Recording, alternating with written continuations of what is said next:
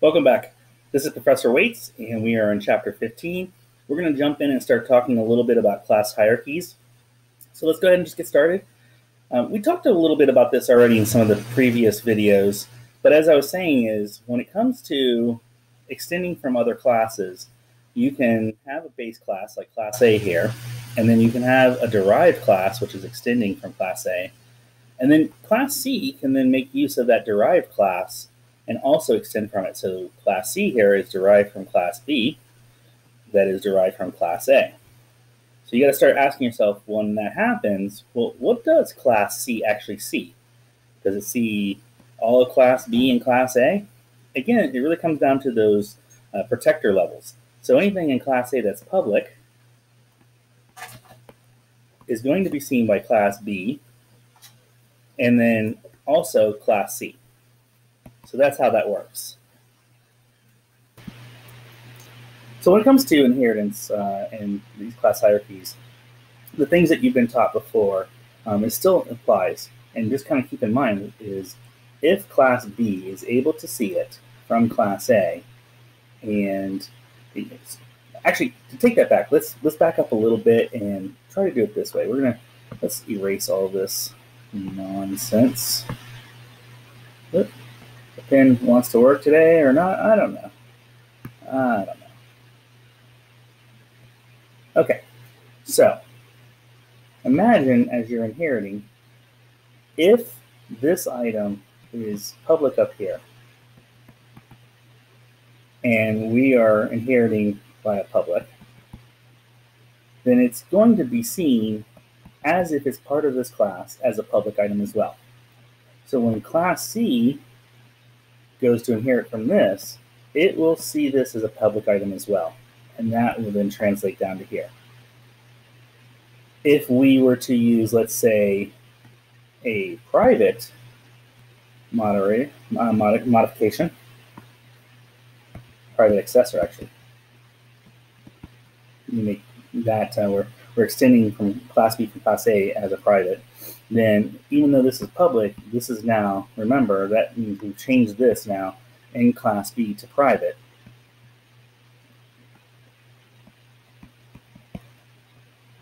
So now class C would not see it. Kind of keep that in mind as we're doing class hierarchies. So here's a good example of class hierarchy. We've got um, you know this graded activity, which makes sense, right? This is kind of a generic, more of a generic type where a final exam is of graded activity. And then this pass-fail activity is of graded activity as well. Now what we've done is we've also said that this pass-fail exam is of type, is of class-fail activity. So again, maybe at some point we're going to do some other kind of, um, maybe we say a, B, C, pass, you know, DF, fail, kind of class, however you want to do it. Um, so again, just an example of a hierarchy. Now I will tell you, when it came to polymorphism and virtual member functions, and a lot of these object-oriented pieces, when I was uh, going through and learning C++, oftentimes I understood the concept, but I couldn't understand why the concept, what was going on, and why would we ever use it. And it's one of those things that as you get in there, just make reasons to use it for now. And sometimes it'll be successful and it'll make sense. Sometimes it won't. But through that, by playing with it, you'll actually all of a sudden, and it's like a light bulb, all of a sudden it'll just go bling, and you're going to be like, oh, okay, I get it. Now, I'm to try to draw a light bulb because I wanted to all of a sudden. Here we go. Now, I know for all of you that are really young, this is an old light bulb that has the little filament running through. It's not an LED. Sorry about that. What can I tell you? Moving on. And no, I'm not a boomer. All right. So polymorphism and virtual member functions. You've kind of done something similar to this, but it's not truly a private, uh, excuse me, a virtual member function yet. Um, it's because you've you may have a base class that you set up um, functions, and then in subclasses you um, redefine those functions, right? This is kind of similar, except in this, we're saying we're not going to um, define it up here. You have to define it here. So that's why it's a function and a base class that expects, and there's the keyword, expects to be redefined in the derived class. So kind of remember that is you're not going to now define this, you're not going to give a function up here. You're just going to um, make use of saying, hey, if you want to extend from me, you have to declare this. You're going to have to redefine it. And what's nice about that is it creates this thing called dynamic binding. Now here is again where one of those places that it's just going to be confusing at first. Bear with me. And what happens is there's two types of binding. And I don't want to get, in this slide, I'm not going to get too much into it because we're going to talk about it in our slide. But there is static binding and then there's dynamic binding. Come on. So when you do uh, virtual um, here, uh, uh, virtual member functions, they will support dynamic binding. And even says that, let's see, without virtual member functions, it uses the static binding, which is compile time. So in this example, it's saying that graded activity, remember, if we think back, we had classes. We had um, graded activity was the base class, and then we had extending from that was like the pass fail exam or something like that. We had these different things ex expanding. So here in this in the parameter for this function, we're not using these derived classes. We're instead using the base class. And what that means is when we go to, if we make a type of this class, right? So let's call this now kind of just A class, B class, and C class. If I make a type, make a, um, if I make an object of type this B class, this pass fail exam class, and I pass it into this param, it's smart enough to know that because this is, is of type graded activity, we can do that. But because of that, we're going to um, um, be using dynamic um, binding. And the reason being is dynamic binding happens during runtime. That means when the compiler puts all of this code together and bundles it up, it's not going to know necessarily what's going to come in, what true item is going to come into this function. Where if we go and look at some other function, let's see if we can find one here. Nope. We've seen functions like this um, where we didn't use like a base type. Um, if we, because of this, the compiler says, well, just because they can pass this graded activity in, we also know that these other items extend from that, so they technically could also be passed in as a type of this. And so because of that, we can't go ahead and compile statically as if we know what's going on. We have to compile knowing that this is going to be dynamic, and we have to wait until it actually gets used during the program's runtime to know how to handle this. So that's the difference between static. Static says we will know, like if um, if all of this was simply like, hold on a second here. If this was a constant int activity. Well, this could compile statically because the compiler already says it has to be an int. There's no way to get around that. It has to be an int. And that's why this has to be. Sometimes these pens, I swear, it's the bane of drawing. As you can tell, though, I like to draw a lot. So um, because of this, we don't know exactly what type could be coming in, and that's why it has to use the dynamic. So here, um, they're showing an example of setting up a pass activity test, which we know is a type of graded activity.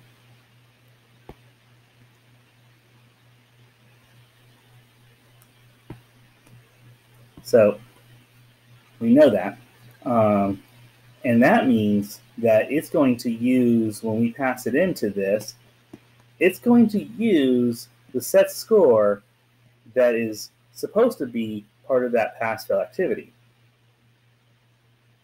But we can see that it didn't. The grade letter grade member function returns C instead of P, because 72 is a pass. So why did that happen? I know you're going, Professor Waites. That's you just told us that's not how it happens. So what's going on? It's the graded activity class get letter function was executed instead of the pass fail activity classes version of the function because go up.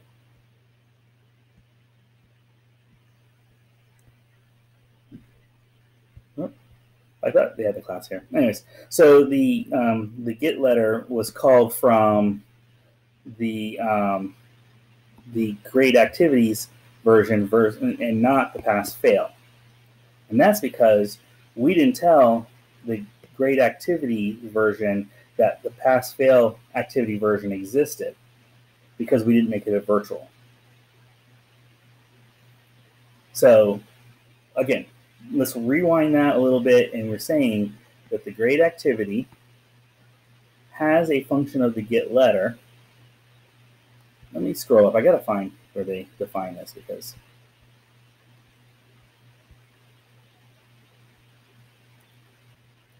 Okay, I paused it and I looked through, and I cannot find where in this um, presentation that they actually um, show what's inside of each class. But what I'm saying that you know to to bring everyone up to speed, this get letter grade is in both grade activity and pass fail.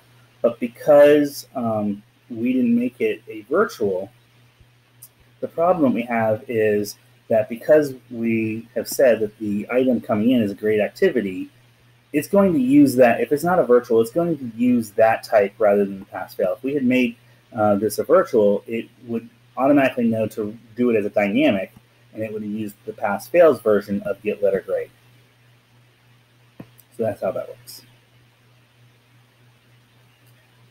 And here we're even talking about it. So in program 1510, the C is displayed instead of P because the get letter grade is statically bound, so we didn't do a virtual, with the grade activity class. We can remedy this by making the function virtual. So I'm glad I said all that just so we can go to another slide and for them to summarize that. So that's that is the summary of all this. Virtual functions. A virtual function is that dynamically bound.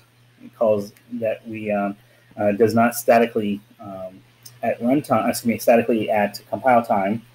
Uh, figure it out. Instead, it does it at runtime.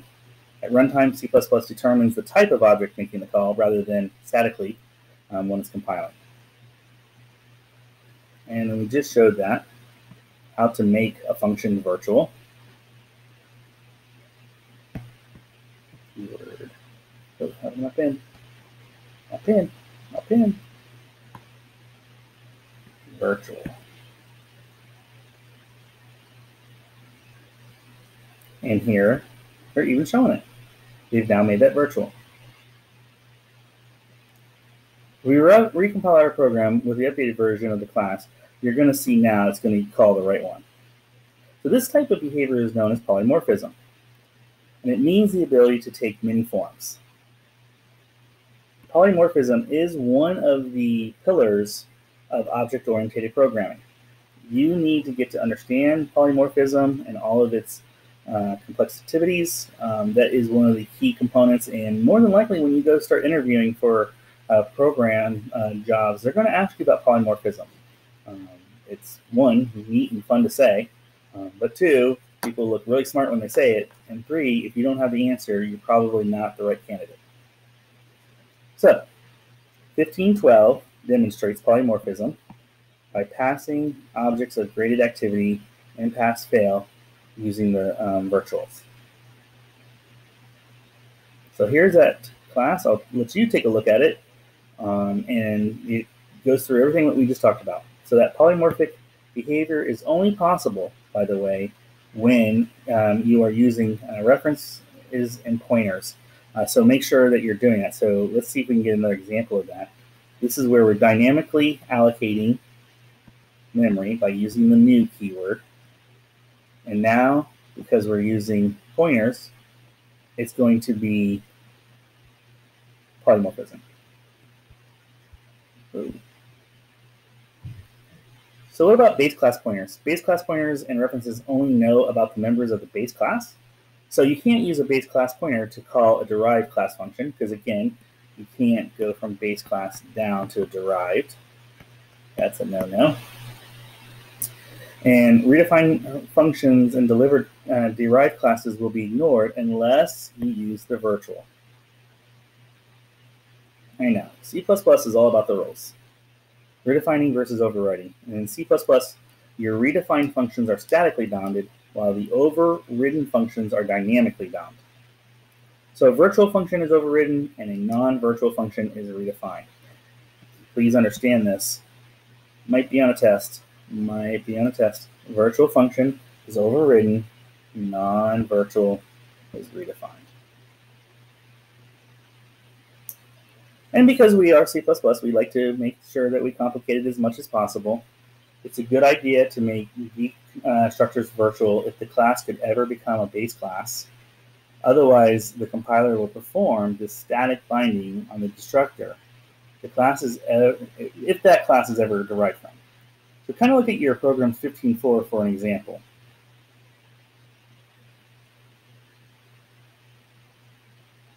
Now, when we hit C++ 11, the override and final keywords. In this, we've got the override keyword, which tells the compiler that the function is supposed to override a function in the base class.